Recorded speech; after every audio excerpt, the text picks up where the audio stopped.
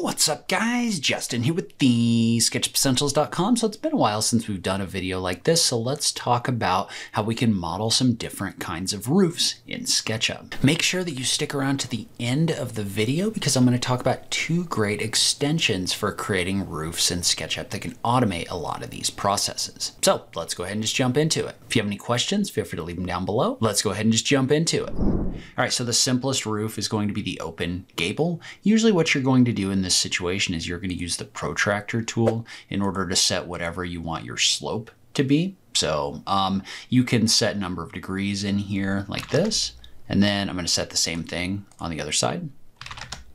And then I can come in here and I can model out the front face. From there, I'm going to push pull this back Note that if you get a hollow face in here, you want to tap the control key to go into create new face mode, but then we're going to take these front edges, or really the front face, we're going to offset it out. So we're going to tap the F key, offset this out the thickness of your roof, whatever you want that to be. Um, in this case, maybe like six inches or something like that. And then we can extrude it back. Now, um, depending on the way you want this to work, you can leave this on the front with the little down piece right here. Or you could also just extend this out by finding the inference point like this and erasing out your extra geometry. Then you can push pull this forward, push pull it back, and you've got your first roof. So say we wanted to do a box gable, which is kind of an odd roof, by the way, um, an, a box gable roof. But what I might do in that situation is I might kind of extrude this out right here and then do my slope. So protractor, slope, edges,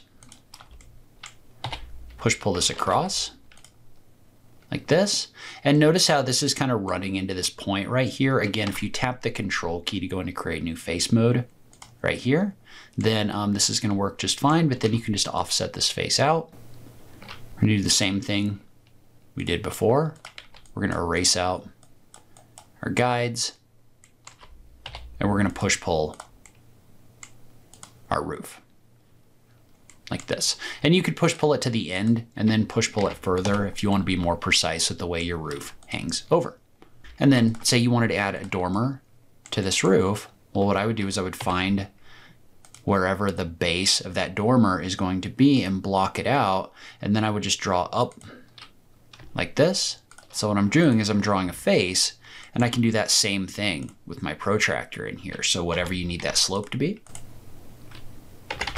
And so in this situation, what I usually do is I just push pull this back until it intersects with my roof or goes through my roof. I don't really care in most situations if this is going through my roof, I would probably group it before I do that, just so it's not intersecting with my roof geometry. But you could push pull it back through like this. And then we do the same thing on that front side. So we would offset this to whatever the thickness of your assembly is going to be. So again, probably six inches, might be a little bit thick here. You might try to create it a little bit narrower, but um, really the size of this will probably make this okay. But then we just do the same thing where we just draw these edges, erase out our extra geometry, and then push pull it forward and back, like this. Then we'll erase out these guides and we're good to go. Now, one thing that we might do um, in the future is I might make a video talking about the different ways to add different kinds of dormers to roofs. So if there's any interest in that, let me know. All right, so say we wanted to create a hip roof, there's a couple ways we could do this one. So one way that you can do it, and probably the easiest way is you can use the follow me tool. So if you figure out how high you want this to be, and you just draw a profile like this one, you can select the surface, activate follow me, and have it follow all the way around the perimeter of this shape like this one. Now if you needed it to overhang, all you would do is you would just make sure that you set this so that it's going out to whatever your actual overhang width is going to be, like this. So now if we were to do the same thing, so select this face, or you could select the edges around the perimeter, but you really just need to select the face. But you can use the follow me tool and notice how this has a little bit of overlap in here. Now you might have to come in here and draw along an edge in order to heal the face on the bottom, but that shouldn't be that big of a deal. And so another way that you could do that is the same way that we've done this before. So I'm going to draw this up to whatever I want the height to be, and I'm just going to keep it simple for this example. So you could push it up to whatever height you want this to be. And so we're going to get to this point. We'll say that you want it to slope this way in this direction, but you want a different slope in the other direction. What you could do is you could use the protractor tool like this, and you could figure out your angle. So in this case, I'm gonna do that same thing. Say I wanted a different angle this way. So say on the front side, I wanted this to be 45 degrees instead of 35 degrees. All you have to do is activate the move tool by tapping the M key. You can click on a point and you can move it like this. So you can use this in order to move this until it intersects with that point right here. So you could do a different slope on this end right here if you wanted to do that. And then, you know, one thing that you could think about doing is you might just take this face and I'm just going to pick this up and try not to pick anything else up. But you could just use the move tool in copy mode here and then you could flip it. So I'm to use the flip tool right here. And then I'm just going to move it back so that this aligns with my bottom piece right here. And then you can just erase out this extra geometry because that's going to that's going to basically intersect this with that face. So you could use this in order to create a hip roof that has different slopes on it. Okay, so say you want to do a hip and valley roof. There's a couple different ways that you could do this as well. So one of the ways that I would recommend is um, figuring out what your overhang is going to be. So say I'm going to have a 12 inch overhang right here. So then what I'm going to do from that overhang is I'm going to figure out my slope. So say my slope's going to be 35 degrees right here. So what I'm going to do in this case is I'm actually going to draw this bigger um, than anything on this surface right here. And so what I'm basically doing is doing something where I know if I extrude this along the surface that it's going to cover all of my overlaps in here. But you can use the follow me tool in order to do this right here. And so this looks messy, but it's not really that bad. Um, we're just gonna go in here and delete out some extra geometry. But what you wanna do is you wanna triple click to select all of this, and you wanna do a right click and you wanna intersect your faces with your model. So when you intersect your faces with your model, notice how I get all these extra edges in here? That means that I can now come in here and delete out all of the stuff that's extra. So for example, all of these tall roofs, other things like that that are way too tall that aren't actually going to be a part of the roof, I can just kind of get rid of them. So I'm just going to delete these out. Um, anything that's way too tall. And so notice how when I'm done with that, what that does is that leaves me with this full on hip and valley roof on top of this roof. Now, alternatively, and the way that I would probably do this instead is there is a free extension in the Sketchucation plugin store called Roof by TIG. And what it does is it'll allow you to enter in some information based on a face. So I'm to pick this face right here. I'm going to set my slope in here and say that it was going to be 35 degrees in here. I don't think 35 degrees is exactly right, but that's fine. Um, and you can also set the soffit size, so how far out it hangs. But if you just click on OK, what that's going to do is that's going to come in here and that's going to generate that roof for you automatically. So and the cool thing about that is if you don't like it, you can just come back in here, undo, and then run it again. So um, in this case, say I wanted my roof to be a 1 to 2, I can actually type in that ratio hit the enter key, and it's going to generate that automatically. So that's going to be your fast way of creating those hip and valley roofs, um, but you can do it either way depending on what you're trying to do. All right, so a gambrel roof is going to be pretty simple. This is kind of like your barn roof in here. So there's a couple ways that you could do this one as well. So um, what I would do in this situation is I just need the profile of the front of my roof. And so you could definitely come in here and you could draw a line up to figure out where the top of your roof is going to be. And usually these roofs are going to have different slopes on them. So what you could do is you could use the protractor tool um, and set your first slope. So say my first slope was going to be like 65 degrees. So I could draw a line up to wherever I want that to end and then I could just draw a line across. The other thing you could do is if you wanted to set both this slope and the other slope, you could use the protractor in order to set the number of degrees here as well. So say I wanted this to be 25 degrees, you could just draw up and then across. And then you could just take that and you could move, use the move tool in copy mode. Then you could use the flip tool in order to flip it and you could move it back And now you've got the profile of your roof right here. And then from there, we would just do what we've done before, right? You would push pull this across in order to create this surface, but then you would offset this out in order to create your actual roof itself right here. So you would draw a line down, a line down, get rid of this extra junk that's in here, and then you could push pull this forward and back.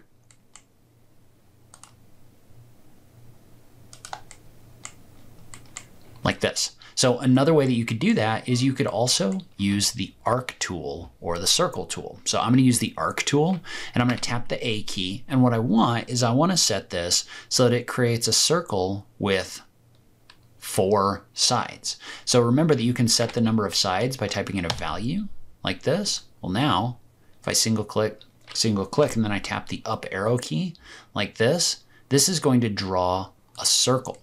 So this is actually a circle. And if I was to come in here and adjust this, I can adjust the number of segments. Notice how it smooths out. But in this case, I just want four segments. Well, what that's done is that's created this in here where now I have those segments and I can use this in order to create that roof. And here's that issue that I was talking about where sometimes you extrude it back and it's hollow. If you tap the control key, move your mouse and then click like this, then it's going to give you kind of a smooth face in here. If you tap the control key when you're doing this, what it's going to do is it's going to put you in create new face mode and it'll actually create a face right here um, that you can use for your extrusion. Now, if I push pull this back, notice how one thing that we're seeing here is this is creating a smooth surface when we extrude this across.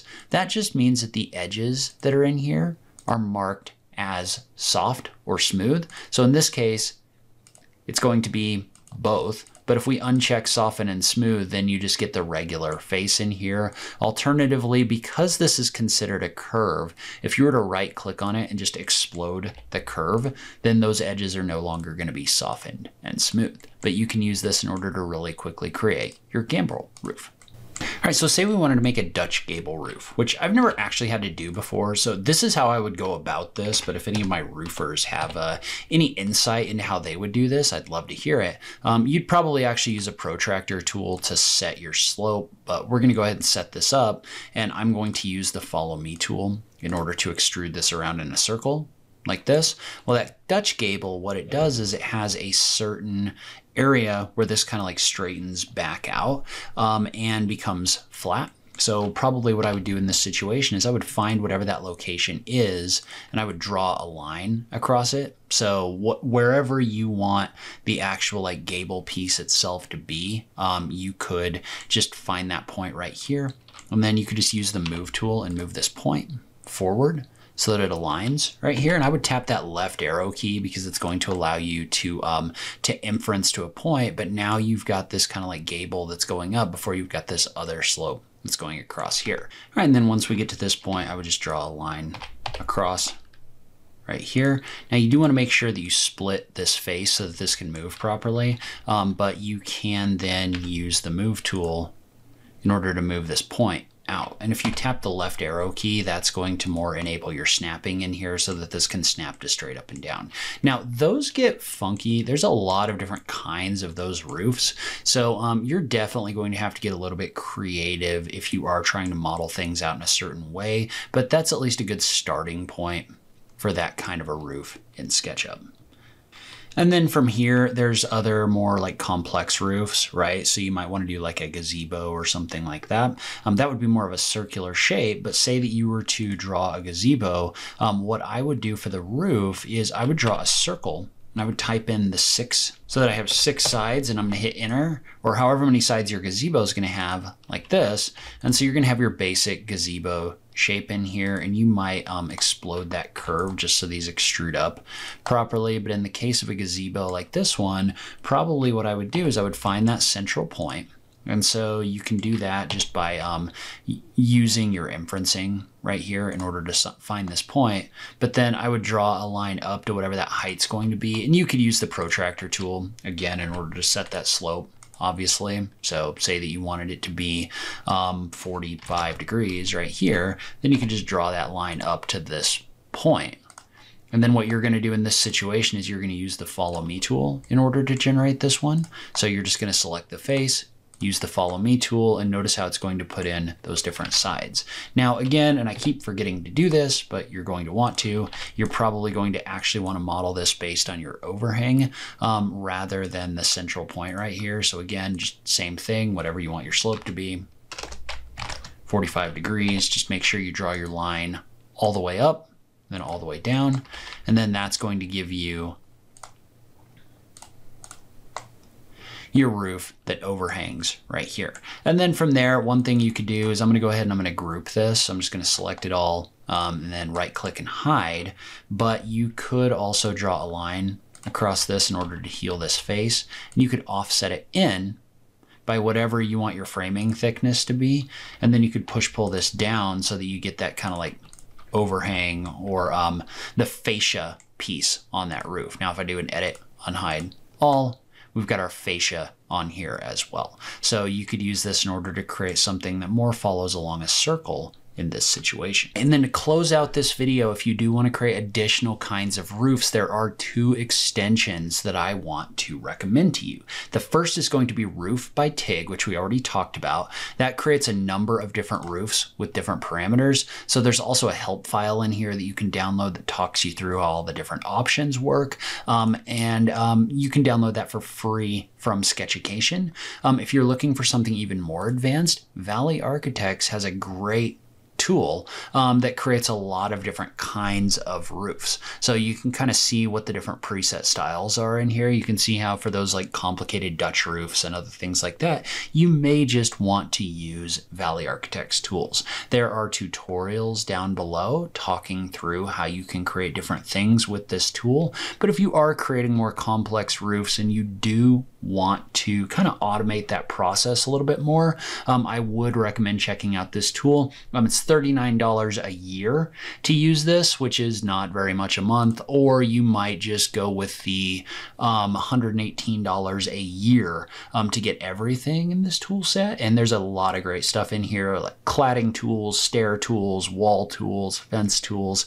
Um, this is one of those things that I highly, highly recommend if you're creating these kinds of things. Um, it's less than $10 a month and you get access to all of those different tools. So you can model these all for free. You can also check out these awesome extensions um, that are going to help you out with, or if you want to automate the process, you can go with extensions as well. All right, so that's where I'm in this video. Leave a comment below. Let me know what you thought. If you have any tips for creating roofs in SketchUp, I just love having that conversation with you guys. If you do want to learn more about modeling in SketchUp, make sure you check out my course. I will link to that on this page where we do get a lot more in-depth on modeling in SketchUp. But as always, thank you so much for taking the time to watch this, and I'll catch you in the next video. Thanks, guys.